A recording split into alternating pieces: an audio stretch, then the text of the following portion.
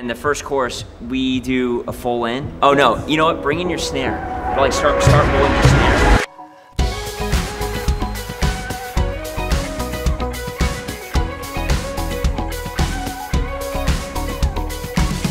Hey everybody, this is Allan Scott, and I am so excited to share some news with you guys.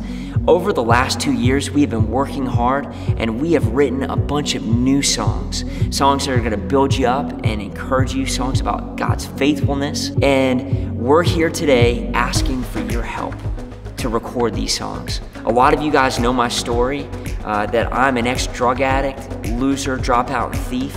And 17 years ago, God put my life together and gave me a hope and a future.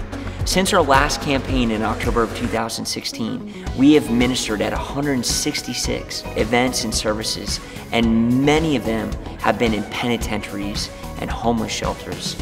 And we get stories all the time from people that have been impacted by the songs and by our story, and that's because of you.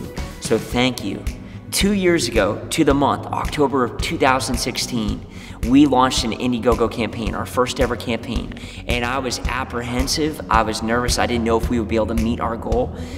But 111 of you guys stepped up in a big way and helped us exceed our campaign goal and just totally blew us away.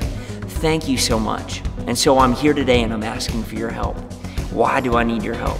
Well, we're an independent band, uh, which means that we're not signed to a label, and that gives us a lot of freedom.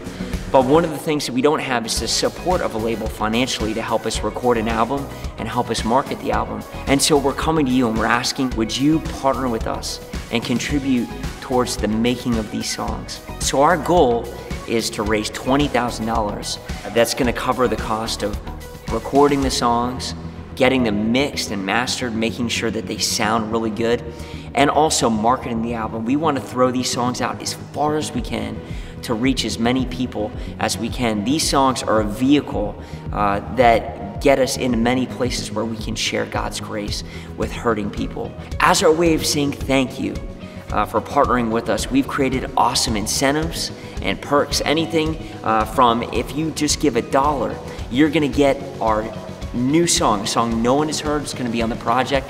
It's called No More Lies on Me. And anyone who donates to the campaign is going to get that song immediately. Uh, the whole way up to a guitar amp that I toured with for years, and even uh, a concert in your home or at your place of worship. We can't do it without you. We're just so grateful for you. And we want to say thank you. Thank you for partnering with us and making what we do possible. Our ministry has always been made possible by people like you. So thank you for being the hands and feet of Jesus uh, to people that need to hear the message of God's grace. Thank you.